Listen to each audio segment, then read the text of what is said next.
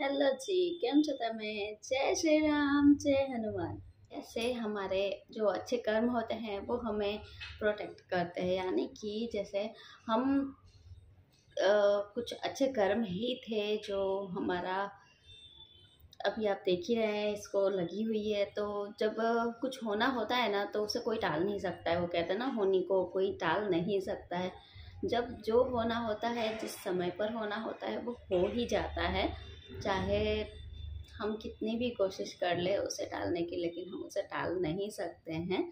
लेकिन हाँ कुछ अच्छे कर्म होते हैं जिसकी वजह से ये चीज़ें बहुत अगर ज़्यादा लेवल पर ख़राब होनी होती है तो वो चीज़ें हमारे अच्छे कर्म होते हैं, उसकी वजह से वो थोड़े से पे पूरी हो जाती है। तो इस तरह से कुछ हमारे साथ भी हुआ। तो और मैं तो पता है ना आप लोगों के साथ हनुमान जी की वीडियो शेयर करती रहती हूँ तो ये हनुमान जी की कृपा ही कहेंगे जो बहुत कुछ गलत होने से बच गया और ये हनुमान जी की ही कृपा है जो बच गया। तो होने को कोई डाल नहीं सकता तो चलिए एक स्टोरी के ज़रिए हम समझते हैं कि कैसे ठीक है? हम्म तो एक ना पेड़ पे तोता रहा करता था तो उस पेड़ पे जो तोता था ना, उसने पेड़ के नीचे से यमराज जी को निकलते हुए देखा और यमराज जी ने भी उस तोते को देख लिया और तोते को देखकर बड़ी ज़ोर से हँसते हुए वहाँ से निकल गए। वो जो तोता था, वो यमराज जी को हंसता हुआ देखकर बहुत ही ज़्यादा डर गया, घबरा गया, इतना ज़्यादा वो डर गया कि उसे बुखार आ गया और उस तोते का जो दोस्त था, वो थे गरुड़, ठीक है? तो जो गरुड़ थे, उन्होंने ये सिचुएशन देखा कि उसके बाद तोते से पूछा कि क्या हुआ? तो तोते ने बताया कि यमराज जी नीचे से निकले और बहुत ज़ोर से मुझे देखकर हंसे। यानी कि मुझे लेने आएँगे, हो सकता है, कुछ भी हो सकता है। तो गरुड़ ने कहा कि अब तुम्हें इतना डर लग रहा है तो एक काम करते हैं। तो गरुड़ जी ने उसको अपने पीठ पर बिठाया और सात समंदर पार एक गुफा के अंदर ले जाकर, एक ऊँची पहाड़ के चोटी पर एक गुफा के अंदर ले जाकर रख दिया उसे कि अब यहाँ तुम बिल्कुल सुरक्षित हो, यहाँ तो कोई नहीं आने वाला है। सात समंदर पार तुम बिल्कुल सेफ़ हो यहाँ पर। उसके बाद वो चले गए और वो जाके यमराज जी से पूछे कि आप उस तोते को देखकर हंसे क्यों? इतने ज़ोर से हंसे क्यों? बेचारा वो डर के आए बुखार हो गया है उसको।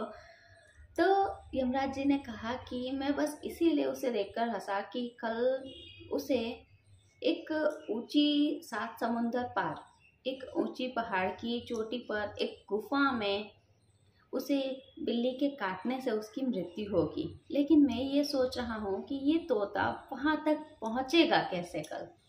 बस यही सोचकर मुझे हँसी आ गई। अब गरुड़ जी सर पकड़ कर बैठ गए किलो उसको तो मैं ही वहाँ तक पहुँचा के आया हूँ।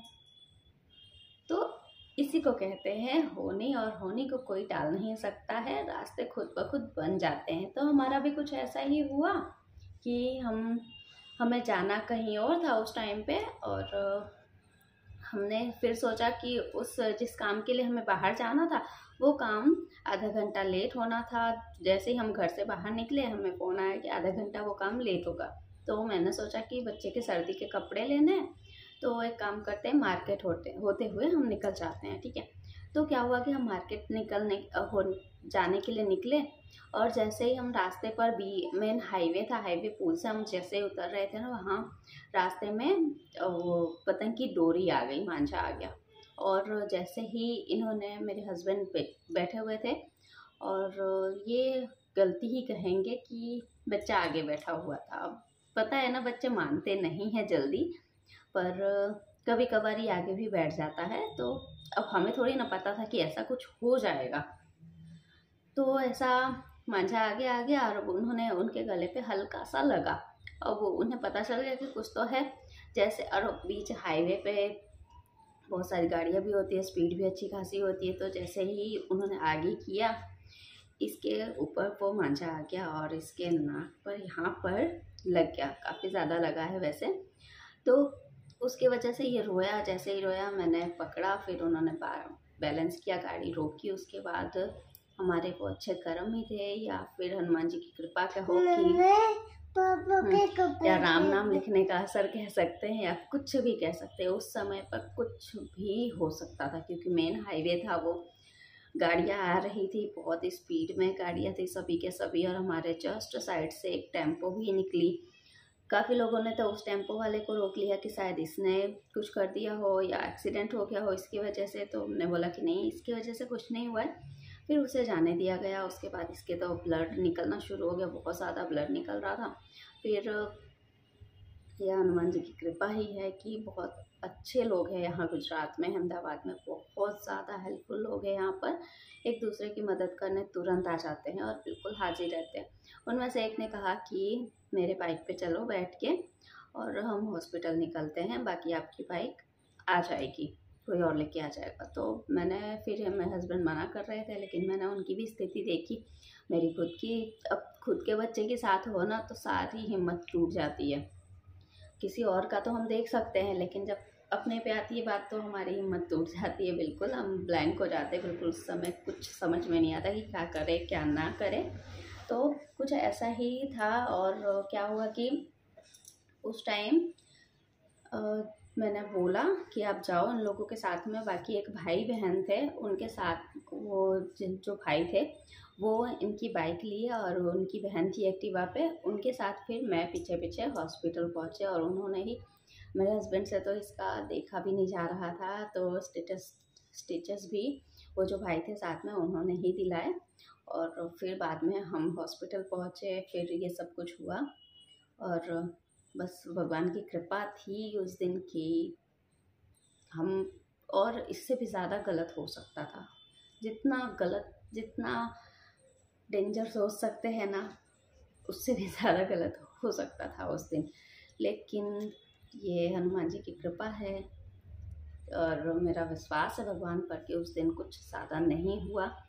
बच गए हम और ये सीख भी है कि बच्चों को आगे बाइक पे तो बिल्कुल नहीं बिठाना चाहिए और बाइक भी फुल मीन्स की स्पीड नहीं चलानी चाहिए। वैसे स्पीड तो थी नहीं ज़्यादा बट फिर भी अचानक से ये हो जाएगा। हमें नहीं पता था और ये हमें जाना कहीं और था, लेकिन ये उसी समय पर उसी जगह पर हमारे साथ ये होना था। लेकिन इससे भी बड़ा कुछ होना था, लेकिन कर्म अच्छे थे जो ये इतने पे ही हो गया, लेकिन ये भी नहीं होना चाहिए था, पर ये भगवान की कृपा ही कह सकते हैं, इसीलिए अच्छे कर्म करते रहने चाहिए। हाँ बेटा, अभी चलेंगे। और जितनी हो सके लोगों की मदद करती, करते रहने चाहिए। अब तो जितना हो सके आप लोगों की हेल्प करिए। राम नाम का जाप करें, राम नाम का लेखन करें और हनुमान जी पे पूरा विश्वास रखें। हर चीज़ में हनुमान जी मेरा साथ देते हैं और बहुत जल्दी ये भी ठीक हो जाएगा। और जैसे ठीक हो जाएगा, मैं फिर दिखाऊँगी, अभी लेटा हुआ है। सुपरमैन बन गया ना? है? तो अभी के लिए बस इतना ही। कमेंट में जय श्री राम, जय हनुमान, ज़रूर लिखे, है ना? तो इसी को कहते हैं कि होने को कोई टाल नहीं सकता है। जब जो होना होता है वो हो ही जाता है। अब इसमें गलती किसी की नहीं कही जा सकती है। हम किसे गलत ठहराए? हम गलत थे जो हम बाहर निकले।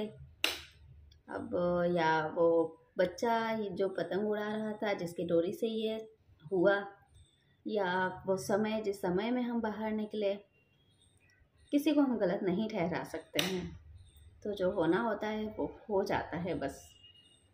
बस इतना है कि कुछ ये कर्म होते हैं जो ज़्यादा होने वाला हो, कुछ गलत तो उससे हम बच जाते हैं। तो बस अच्छे कर्म करते रहिए और लोगों की मदद करते रहिए। बस इतना ही। अभी के लिए बस इतना ही। मिलते हैं नेक्स्ट वीडियो में। तब तक के लिए जय श्री राम, जय हनुमान।